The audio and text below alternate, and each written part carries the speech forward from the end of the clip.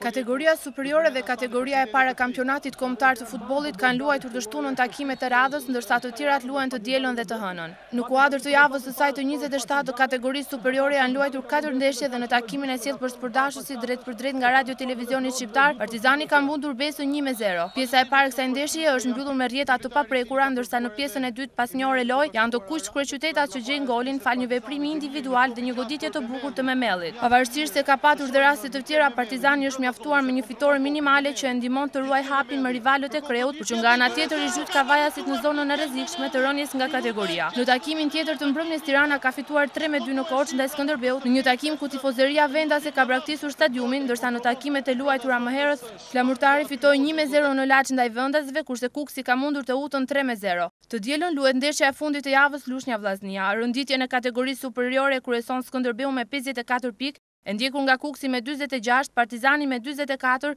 Laçi me dyzet si dhe Teuta me tridhjetë e nëntë pikë. Të shtunën pasditë janë luajtur dhe pesë prej takimeve të javës së njëzet e katërt të Kategorisë së Parë, ku Elbasani ka fituar dhe kryeson i shkëputur me pesëdhjetë e dy pikë, pesë më tepër sesa Apolonia, ndërsa vendin e tretë e mban Tërbuni me dyzet pikë.